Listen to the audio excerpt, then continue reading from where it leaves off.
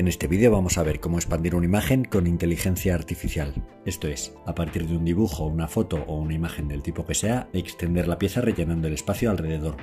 El término más popular es el outpainting, así que vamos a aprender paso a paso cómo hacer esta nueva función que incorpora DALI 2, cuyo uso es totalmente gratuito.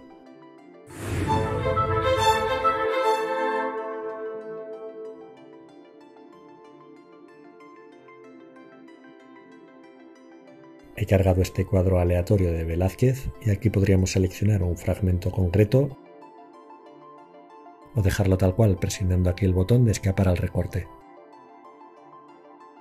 Ahora podríamos redimensionar esta imagen, por ejemplo, reduciéndola a este tamaño. Así por ejemplo, ok, y aquí tendríamos el tamaño de la escena en la que inscribir esta imagen. La colocaremos donde queramos que genere el entorno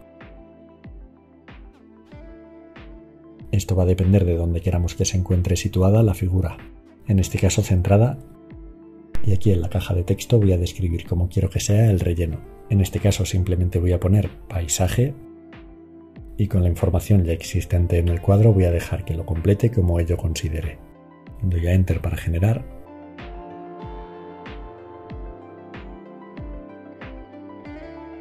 Bien, pues aquí podemos ver el resultado. Bastante increíble, ¿verdad? Ha recreado perfectamente y con el mismo estilo de Velázquez la parte que está más allá del cuadro y además nos ha generado variantes. Si le damos aquí, bueno, tenemos este con un árbol, aquí podemos ver una alternativa con otros árboles al fondo y un pañuelo en una de las ramas, y aquí otro diferente. Todas encajan fenomenal, tampoco varían tantísimo entre unas y otras porque el marco que le hemos dado es bastante pequeño, pero aún así perfectamente coherente con la pintura.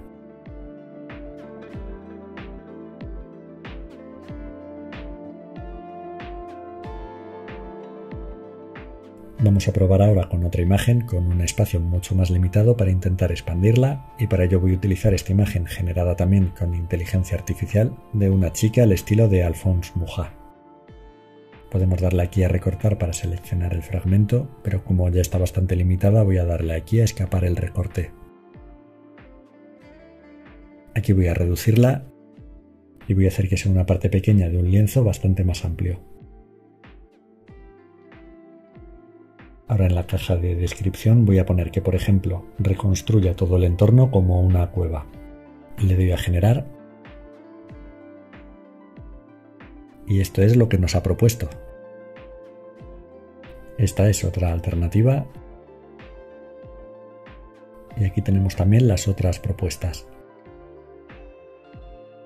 Vemos que ha recreado bastante bien el estilo y de una forma bastante estética y además sin restarle protagonismo a la figura central.